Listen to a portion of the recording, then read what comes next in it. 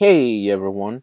Today on Classic Action Figures, we are going to be taking a look at the Cobra Flight Pod from the G.I. Joe Rise of Cobra movie. Here's a look at the front of the box. On the front we can see the G.I. Joe Rise of Cobra movie logo at the top, and in the center we see a windowed area where you can see the figure and a cool illustration of the Cobra vehicle. You also see the Cobra logo and the toy name on the bottom of the package. The back of the box has a cool picture of the actual toy, along with a description of the features found on the toy. It also has a quick bio on the Elite Viper and a small story on the top left of the box. The left side of the box has a Cobra logo and another brief Joe story. And the opposite side has a cool image of the Cobra Elite Viper included in the package. Alright, let's take a look at the figure first. The Elite Viper is done mainly in black for the torso and the head. He also has a crimson colored chest plate and arm guards. And finally he has some red and white camo pants. I'm not too crazy about the pants, but the figure is quite decent looking and he's a well sculpted figure. I do like his chest piece and the pads on the arms. You can actually remove his chest piece if you wish. I also like the silver color used for the visor on the helmet. The boots are nicely detailed in black, and he also has a nice holster for his gun. Speaking of weapons, he does come with a small submachine gun, which looks great. And he also has a small gun that does fit in the holster. The gun is a bit weird looking, but at least the figure can easily hold it.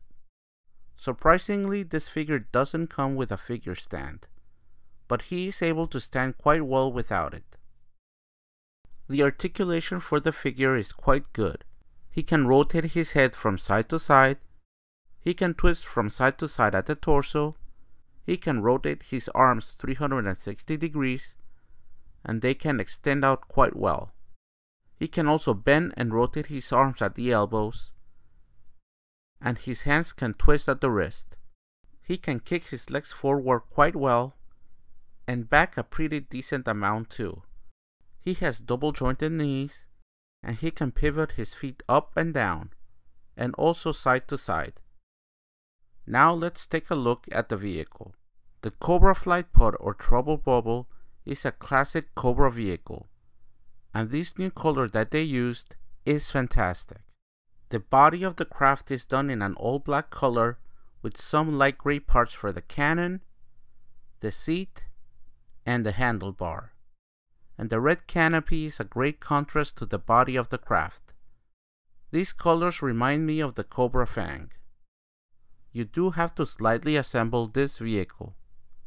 You have to attach the seat, the turbines, the canopy, the two small silver hoses, and the missiles. You also have to apply stickers to the vehicle, and these really do add to the overall look of the craft. The vehicle doesn't have a peg for the figure's back to attach, but rather it has a clip that allows most modern and vintage figures to actually use the vehicle. This was a great idea, and here's how a vintage Televiper looks on the craft. I'm glad they used this system to hold figures in place. I didn't have a hard time using vintage or modern Joe figures on this vehicle. The vehicle comes with two small missiles which are nicely detailed, but the cannon on this new flight pod is much different than the one they used on the vintage vehicle.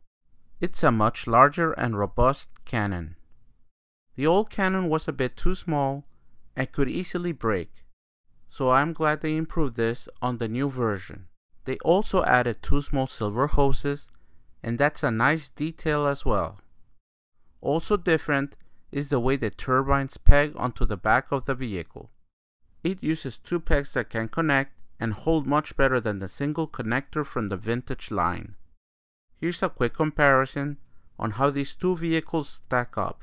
This is a flight pod from the 15th anniversary line, but it's the same mold that they used on the original toy except of course for the colors that were used. You can see the difference in the cannons, and I do think that the modern flight pod is a bit more sturdy. and the turbines don't fall off as easily. The old flight pod also came with a mine that could be attached to the peg of the seat. But to be honest, I never really cared much for that accessory. It's an iconic vehicle, and I have to say that this new black and red version looks amazing.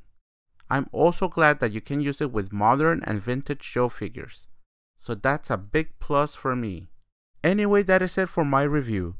Until next time, take it easy.